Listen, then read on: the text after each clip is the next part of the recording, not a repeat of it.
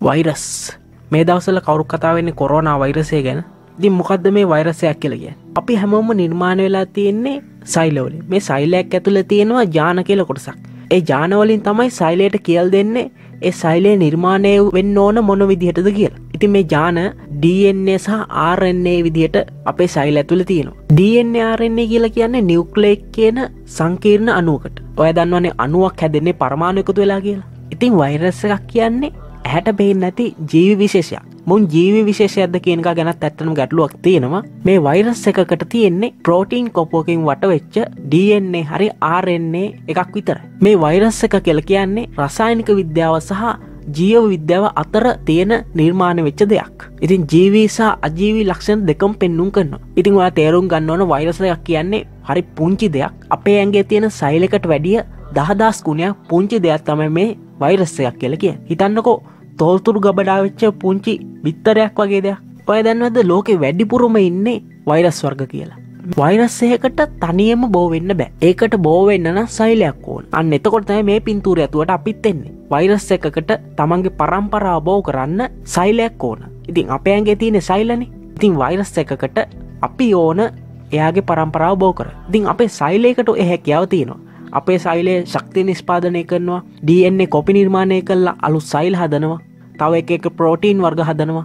ඉතින් ඒ හැකියා අපේ සයිලකට තියෙනවා.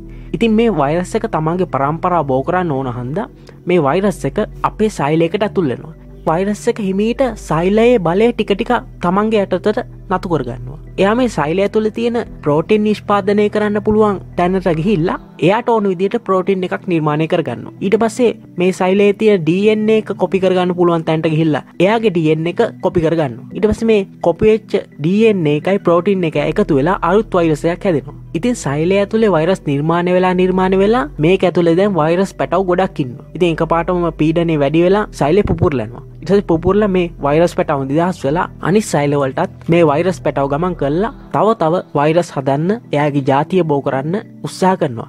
ඉතින් ඒ විදිහට මේක දිගටම දිගටම යනකොට අපේ සයිල විනාශ වෙලා අපිවත් ලෙඩ කරනවා. ලෝක වැඩිපුරම ඉන්න ජීවි කොට්ටාසේ වෛරස් වනත් මේකින් සමහර වෛරස් පාචිකල් අපිට බේත් හදන්න පුළුවන් වෙලා තියෙන තින් හැම වෛරස එකක්ම නර්කයි කියල කියන්න බැහ ඉතින් ඔයාට වෛරසයක් ගැන මොකරි තරහත් තියෙනවනම් මෙන්න මේ දෙහා ගන්නකෝ අවුරුදු පිලියන ගානකට කලින් වෛරස් එකක් එක්තර බැක්ටේරිය විශේෂකට ඇතුළත්ලා තියෙනවා. ඉතින් මේ බැක්ටේරියාව ඇතුවලට ගියපු වෛරස් එක තවත් වෛරස් නිර්මාණය කරනවා වෙනුවට මේ වෛරස් එක නිර්මාණය කරගන්නවා නෂ්ටියක් කියන කොටසක්. මේ බැක්ටේරියාව ඇතුවේ නිර්මාණ වෙච්ච නෂ්ටිය තමයි අද දක්වාපි සයිලයක් විදියට හඳුනාගන්නේ. ඒ කියන්නේ මුල්ම සයිලේ නිෂ්පාදනය වුණේ වෛරස් එකක් බැක්ටේරියාවක් ආසාධනය කරන්න උත්සා කරපු හන්ද. ඉතිං අපි පැවතගෙන එන්නෙත් මේ වෛරස් එකක් හේතු කරගෙන කියලා අපට කියන්න පුළු. කොරෝනා වෛරස් එකක් කියල කියන්නේ අපේ පෙනහලු පද්ධතිය උපයෝගී කරගෙන ආසාධනය වෙන වෛරස් එකක්.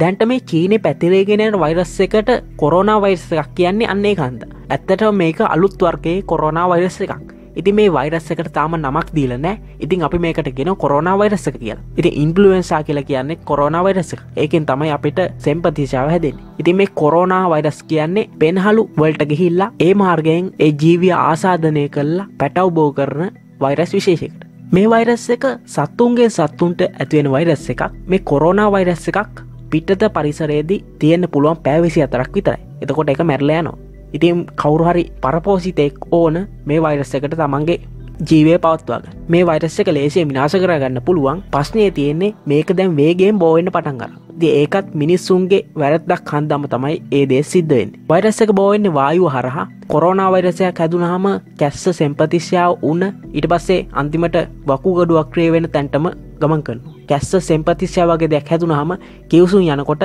ඒ වෛරස් පැටව් මේ වාය ගෝල්ඩ එකතු වෙන ඉතින් තව කෙනෙ හුස්ම ගන්නකොට ඒ වෛරස් එක ඒ හුස්ම ගත්තගෙනගේ එ පෙන්හඩුවලට ඇතුල්ලෙන ඇතුල් වෙලා ඒ මනුස්්‍යයත් ආසාධනය කරන ඉතින් මේකින් අපට ගැලවෙල පුලොන් කොහොමද?